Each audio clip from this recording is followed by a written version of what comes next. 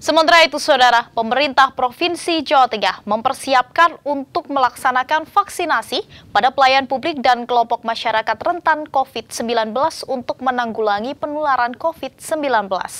Gubernur Jawa Tengah Ganjar Pranowo mengaku tengah menyiapkan empat skenario sesuai dengan permintaan dari Menteri Kesehatan.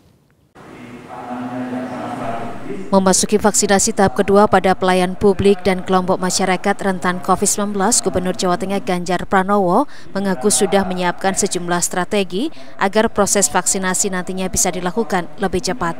Namun menurut Ganjar, percepatan vaksinasi juga bergantung pada jumlah vaksin dan jenisnya yang dikirim oleh pemerintah pusat ke Jawa Tengah. Saat ini pemerintah Provinsi Jawa Tengah sedang fokus mendetailkan data siapa saja yang nantinya mendapat prioritas vaksin tahap kedua. Sebab saat ini sudah akan memasuki vaksinasi pada pelayan publik dan kelompok masyarakat rentan COVID-19 serta TNI Polri. Siapkan nantinya eh, strategi-strategi agar bisa lebih cepat. Namun semua akan bergantung kepada berapa vaksin yang akan dikirim, termasuk jenisnya. Nah jenis ini menjadi penting karena beda-beda.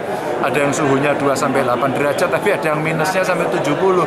Nah kalau minusnya sampai 70, cold chain-nya mesti disiapin dengan baik.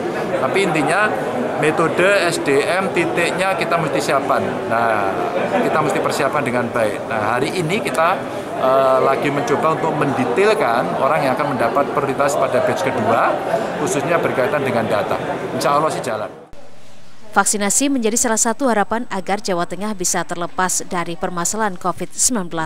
Harapannya, proses vaksinasi tahap kedua di Provinsi Jawa Tengah bisa berjalan lancar sembari menguatkan protokol kesehatan dalam menjalankan aktivitas di luar rumah. Prayoda Febrianto, Kompas TV, Semarang, Jawa Tengah.